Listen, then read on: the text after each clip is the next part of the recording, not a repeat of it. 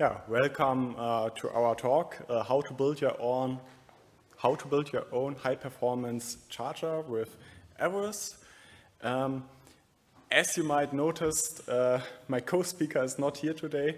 Uh, it's because uh, he's sick, and uh, this is very sad because he's even more experienced in Everest than me, and probably in the end, when you have questions, he would have been able to answer, but uh, you have to take what you have. Uh, that's me, genau. Uh, my name is Andreas. Uh, I'm working at Pionix uh, since 2021 on Everest. Um, my background is electrical engineering and at Pionix I'm working on CI/CD, um, on internal tooling, uh, for example, the tooling to build our documentation, um, and even some more tasks in uh, our internal framework. Um, yeah, uh, the specific part is named uh, error framework. Uh, nothing you can uh, imagine about probably, but yes. Um, genau, what is uh, this talk about? I'm very happy to see that there are quite a few people who are interested in EV charging. Um, I will start uh, with uh, what is Everest in general, uh, about the project and the organizational structure of the open source part. Um, yeah, then uh, how a DC charging session actually work in detail. Um, and then in the end, uh, yeah, some schematic similar uh, diagrams on how you could design your own high performance charger. Yeah, what is Everest? Um, you could say Everest is like the Android for charging stations. So uh, the go goal is uh, world domination and to have uh, every charger in the world based on Everest. Uh, that is not the case currently. um, yeah, and we are an LF Energy project um, founded in 2021 by Pionix. Um, Apache 2 license. That means uh, the code is uh, very free available and you can take it and sell it uh, without paying any license. Um, yeah, it runs on any embedded Linux. Um, it's very customizable, uh, so our framework is module-based and you can uh, potentially write your own modules uh, and dynamically configure them and connect them. Um, yeah, and the currently set of modules already cover the most important protocols in the EV charging world. So for example, OCPP or ISO 15118. Um, yeah, Everest also includes uh, graphical web interface, um, energy management, and uh, the modules I already mentioned, you can write in multiple langu languages like C++, Python, JavaScript, um, or also Rust. Uh, here you can here you can see a very chaotic slide uh, of which protocols and standards are out there in the field. And uh, you see on the left the categorization uh, into uh, grid, cloud, AC and DC, and uh, also a timeline when these standards came up. And in green, there are these standards we already support, uh, yeah, like OCPP, ISO 15118, uh, and so on. Um, the black ones are the ones we are currently working on. For example, EEBus is something I personally work on. Uh, and in white are the the rest of the standards we uh, have on our roadmap since uh, we want to support hopefully all protocols and standards in the future. Uh, yeah, Everest is uh, driven by a good community. So you can see uh, in orange the line of the, the, total contributors, which is still growing. We are about 250 at the moment. Uh, and in blue, you see the current active ones. So for the last month, August, it was uh, 58, I think, um, which are not all from Pionix. So in the next slide, uh, you see uh, where these contributors are located. Um, mainly in Germany, probably because uh, Pionix is located in Germany. And uh, we have also contributed contributors from the United States, the United Kingdom, Italy, and the Netherlands. Yeah, it's a very uh, broad global community. So typical uh, contributors are uh, standardization bodies, governments, universities, uh, car OEMs, and even more. Okay, uh, next I want to explain a bit how Everest is built up and uh, how it fits in the LF Energy. Uh, so here you can see the uh, quite new government structure of the uh, LF Energy. Um, at the left we have the governing board, which is responsible for uh, budgets, marketing and strategy. Uh, directly next to it, it's the tech, the Technical Advisory Council, which basically technical manages uh, the projects. And very new is uh, the layer next to it, the uh, SIG layer, the special interest groups, um, which is a group of projects that can uh, collaborate on each other, which have uh, similar interest. So uh, in our case, the interest is EV charging. Um, so the EV charging SIG is newly uh, grounded or newly founded, uh, introduced. Um, yeah, and in this uh, SIG, there is also another project, the CitrineOS, and our project, Everest. Um, yeah, and uh, the idea is to have there even more projects uh, just has started. Uh, and for bigger projects like Everest is, there's also the possibility to uh, yeah, split down in working groups uh, speci specific topics to even work more uh, efficient on tasks. Um, yeah, back to uh, sorry, back to the uh, middle layer, the uh, SIG. Uh, I just want to give you a quick insight in the kickoff meeting of the special interest group EV charging. Um, we defined four goals for the next 12 months. The first one is uh, identify other projects that uh, potentially fit in this group. And um, yeah, goal two is uh, to identify uh, gaps that might be not covered, cover, covered by uh, existing projects. And uh, third goal is um, yeah, of course, finding collaboration between these projects, maybe uh, testing with each other. Um, yeah. And the fourth goal is since it is the very first special interest group in the LF Energy, is to be an example uh, on how to be a good special interest group and how to be effective on that. Yeah, um, now we are again at the uh, working group level. So uh, Everest is uh, breakdown in uh, working groups.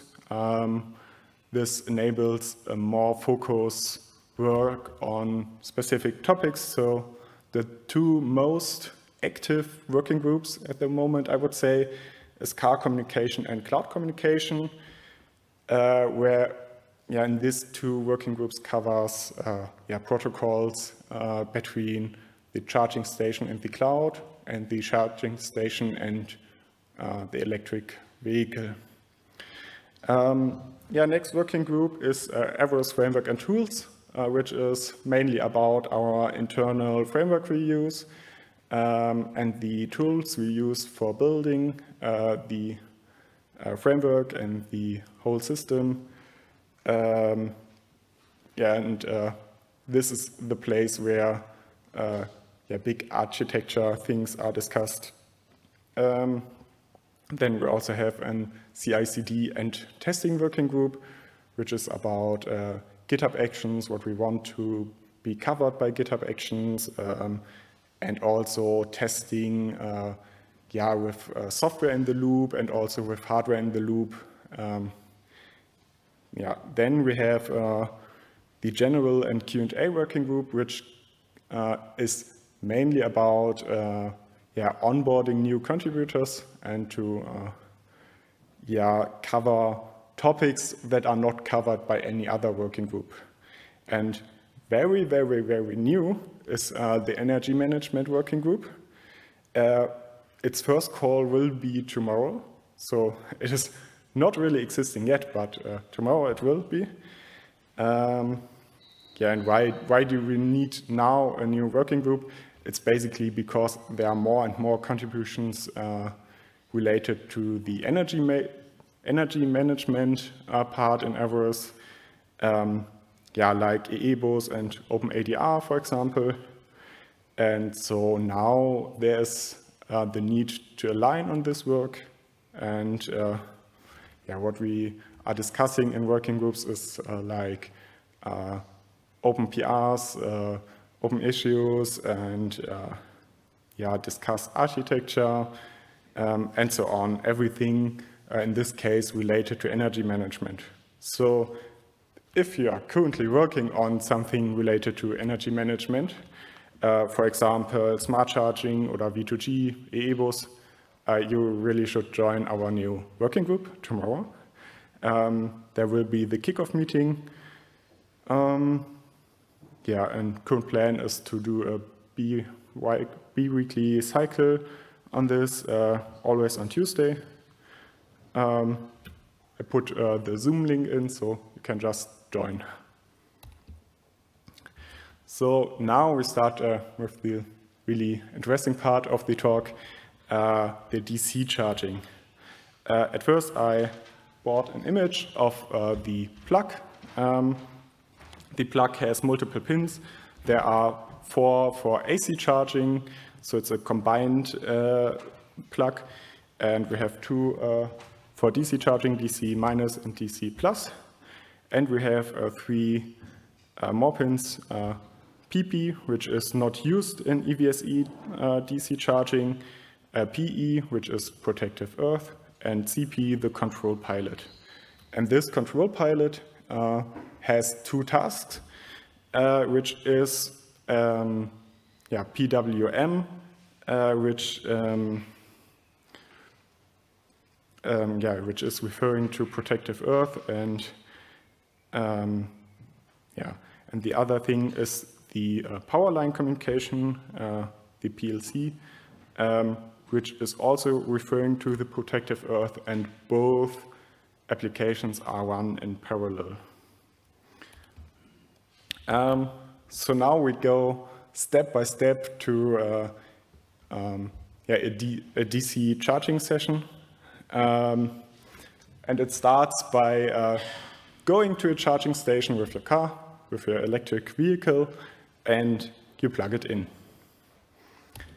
Then the uh, EVSE, the charging station, enables uh, the control pilot signal at 5%, uh, uh, which signals uh, that, PL, that HLC, high-level charging, is needed since the normal range would be 10% to 95% for AC charging.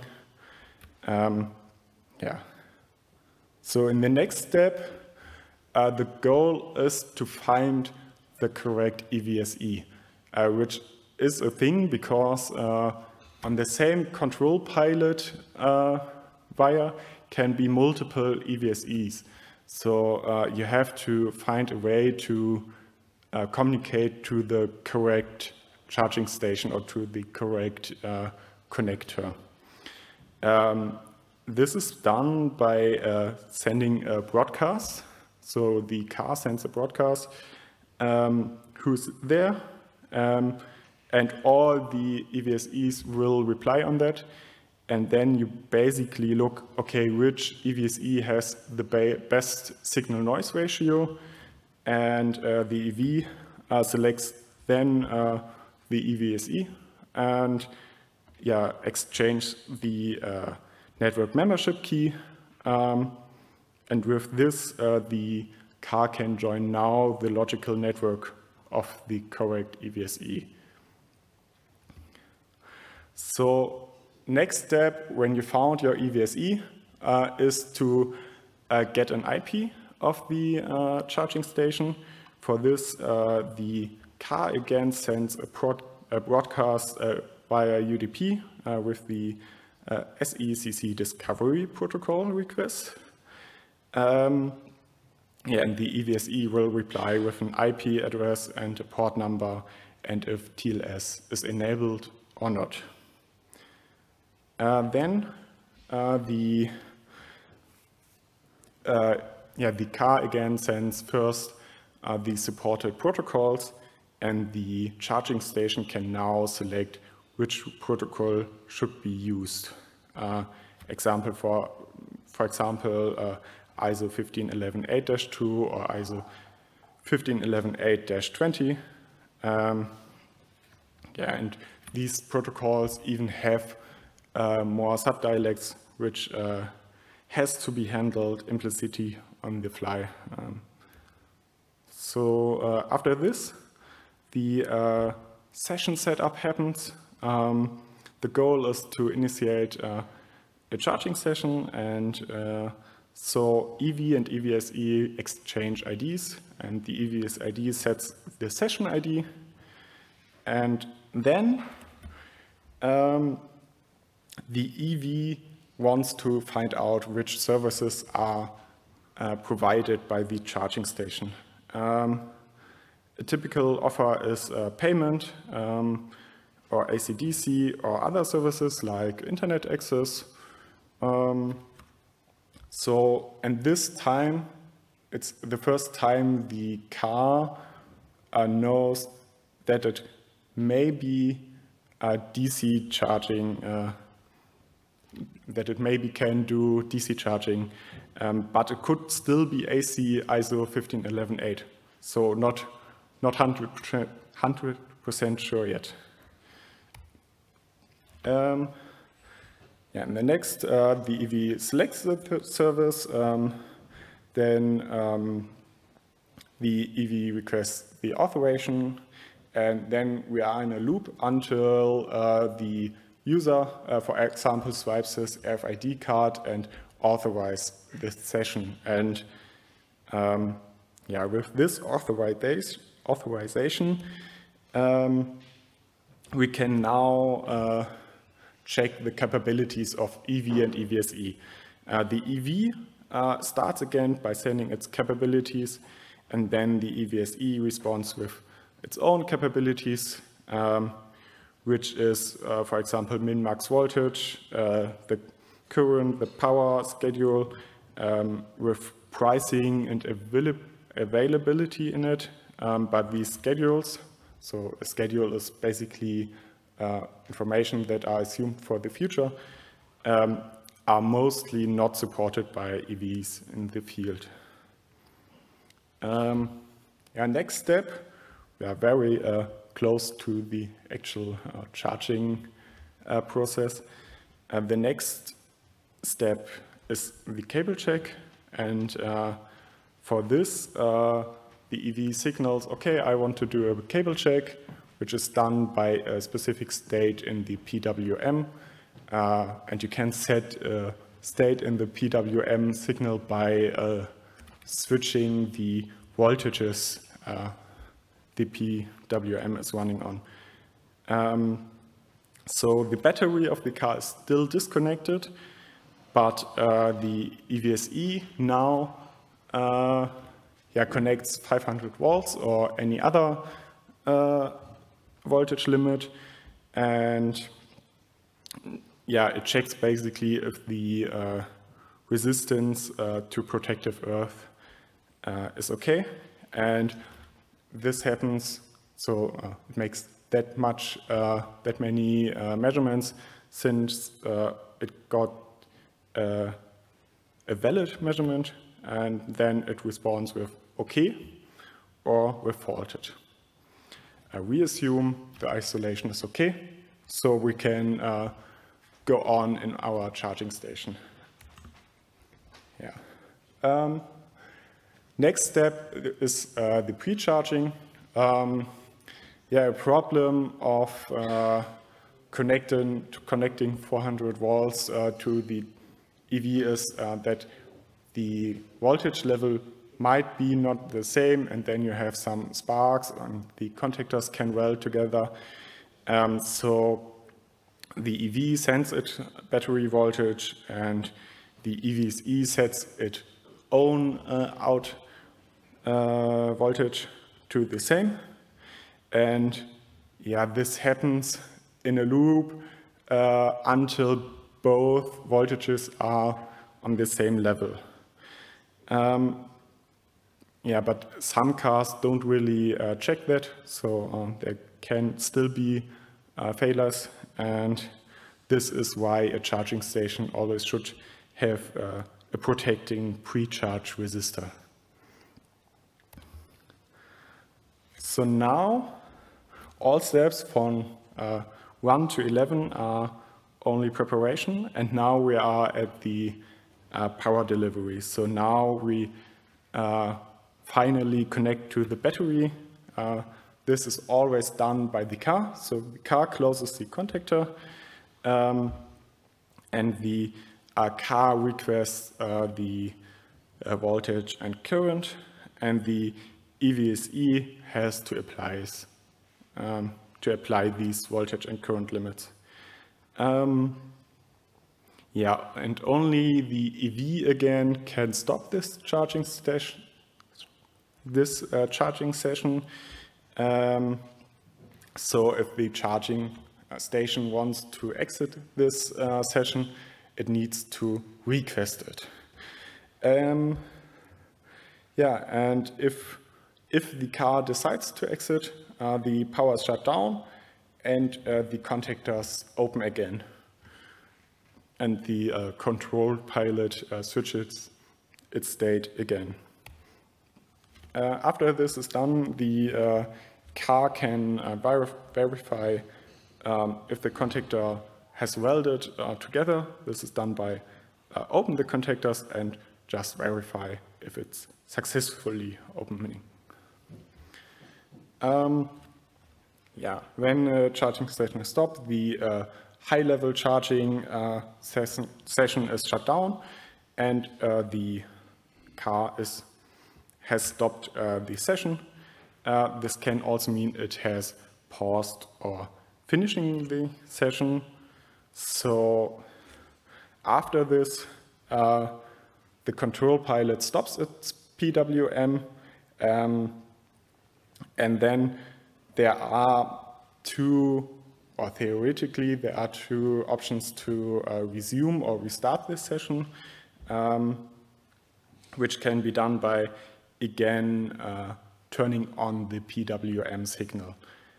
Um, and if you just pause your session, you can start with uh, step four, the SDP. Um, but if you finish your session, you have to start again at uh, step three, the SLAC. Um, in our case, we stopped the charging session and we now have a charged car and can drive down the road and plug out the car before we're doing this.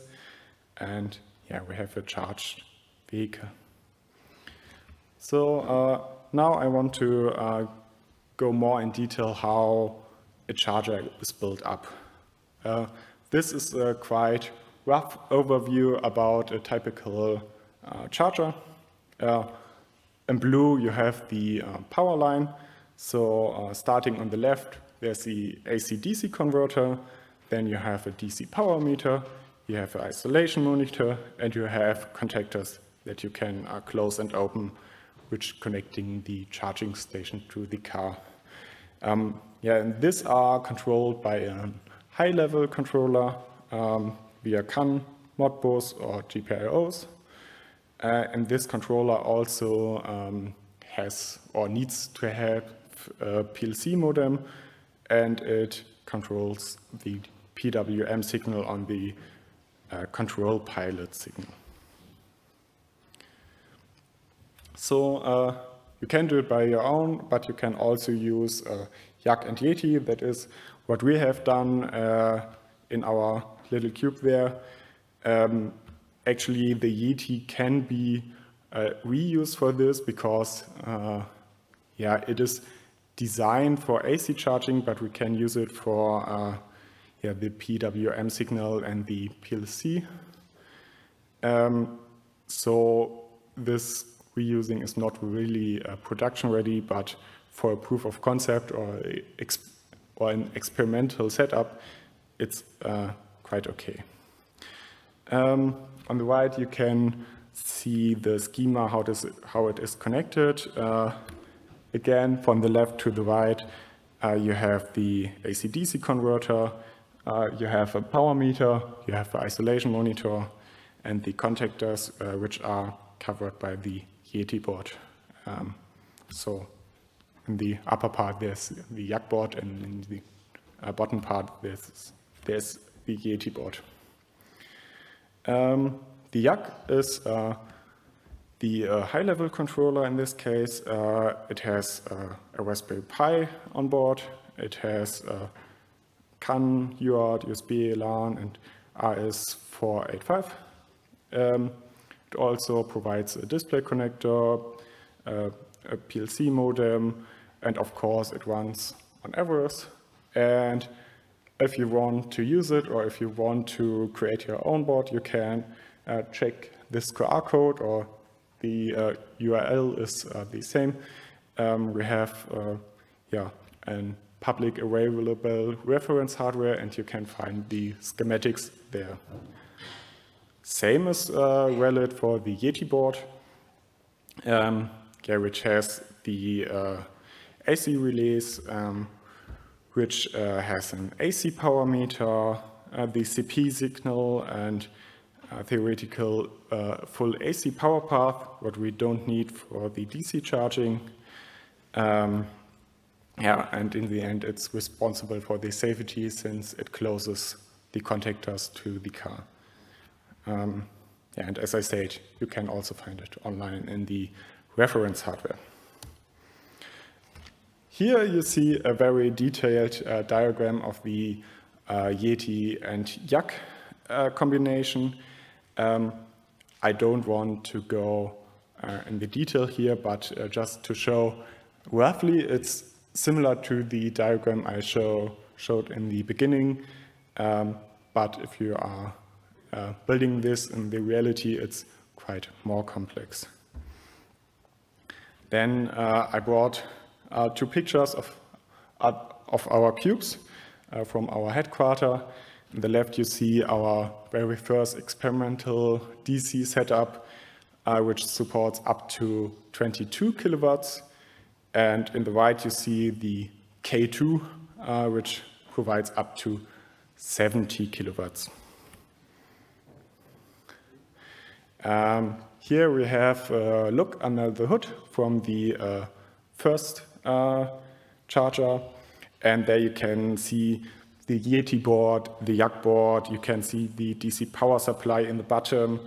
Um, yeah, so just uh, an insight uh, how this looks inside the cube. Uh, very experimental and uh, yeah, very heavy too. So what do we do when we uh, want to test cars in the field and we might not want to, uh, yeah, to, uh, to take this heavy charger with us, uh, maybe in the train, uh, would, wouldn't be that uh, practical. So we came up with the micro megawatt charger. This micro megawatt charger is basically very similar to this big cube, but the big limitation is that it, it provides up to 1250 volts, but only up to uh, 0.8 milliamperes and up to 1 watt. So you can't really charge the car, but you uh, can test uh, the full communication and uh, you can do a full charging session uh, and you can also do isolation monitoring. So with this, we are able to test uh, any car in the field without rearing this uh, big uh, cube with us around.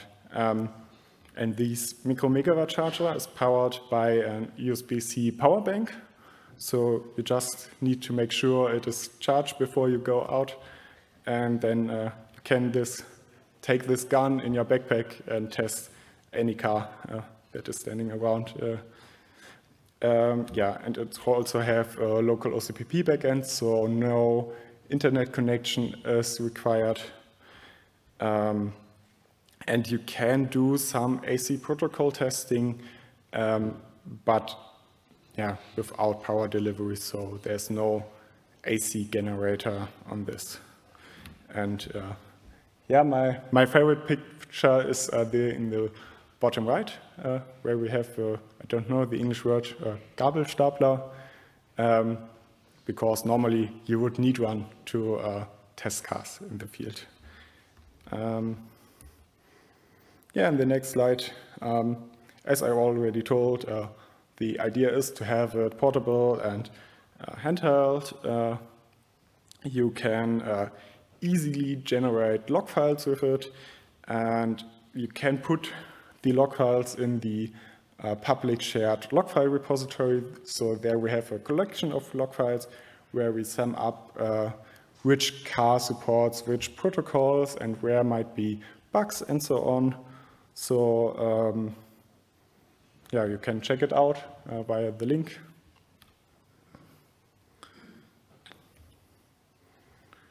Yeah, and in the end, uh, how to get involved. Um, it doesn't uh, matter if you um, are using Everest for a private project or maybe you build a charging station and you want to sell it, you can contribute. Um, but uh, yeah, also if you found an issue or you have a really nice uh, feature idea, just uh, post it on GitHub and together we can Everest make even better.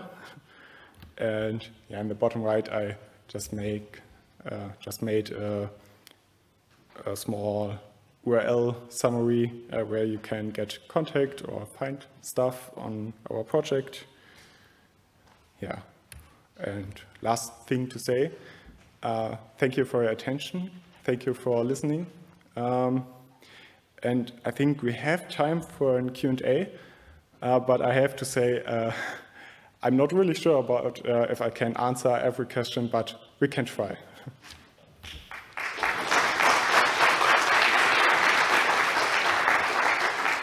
yeah. So I've a question you may not be able to answer.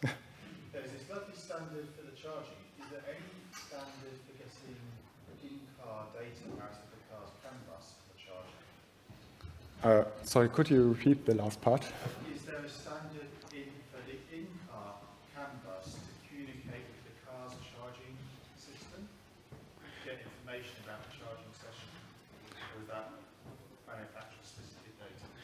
Um, I'm not really sure about it. Uh, so, uh,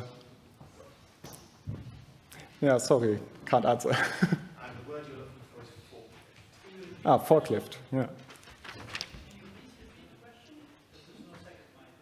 So uh, the question was um, if there's a protocol to access from the inside of the car the um, data of the charging session. Is it correct? Yeah, and uh, I don't have an answer. I'm, I, I think, I'm not quite sure about it, I think ISO 15118 supports um, yeah, something like um, internet access services. So I think the idea is there that you have information on the display in your car and maybe even more information, uh, but not sure about it. Okay, uh, any more questions I might not answer?